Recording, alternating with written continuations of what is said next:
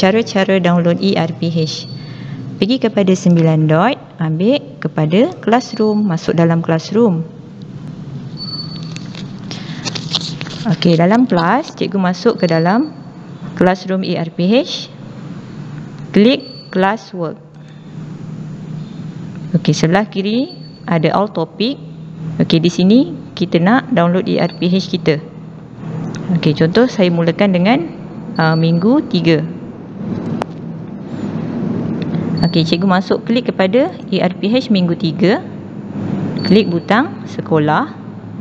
Okey, dekat kanan ni ada your work. Okey, pergi kepada PDF, klik PDF. Okey, klik butang print. Ambil, download. Okey, langkah pertama untuk mudah cikgu uh, buat dulu satu folder, letak dekat desktop. Klik new folder. Okey, namakan nama cikgu.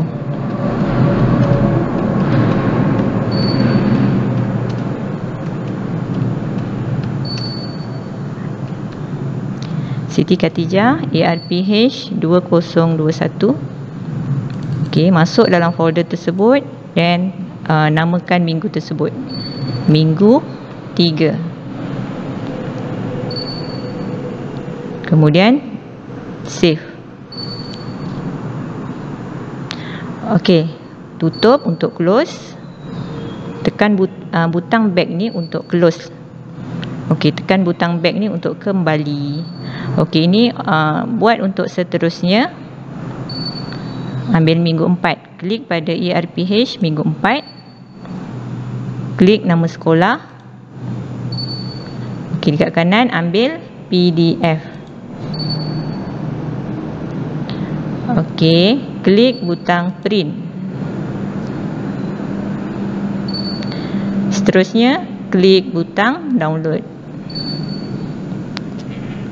Ok namakan minggu 4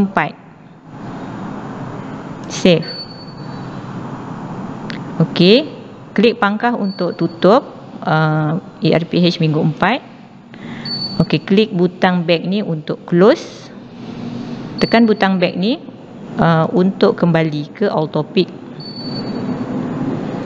Ok begitulah seterusnya. Sekiranya uh, dalam ERPH cikgu tiada uh, PDF ok sekiranya tiada PDF tadi ok caranya untuk cikgu download ialah uh, langkah yang sama pergi ke all topic uh, ambil ERPH minggu 47 klik juga pada nama sekolah Okey, sekiranya uh, tiada butang PDF maksudnya pentadbir tidak graded lagi okey untuk kes-kes yang pentadbir tak ada lah macam PK Koko tak ada kan? Okey, caranya ialah cikgu buka saja uh, sheet yang cikgu dah turn in ni klik buka. Okey, ini ERPH kita. Ambil file klik download. Ambil PDF Okey. Dekat sebelah kanan ni dekat export pilih workbook. Untuk kita download satu minggu tu. Okey. Yang uh, de dekat bahagian page orientation pastikan dia portrait. Kalau di sini uh, dia landscape cikgu pilih portrait lah. Okey, kemudian export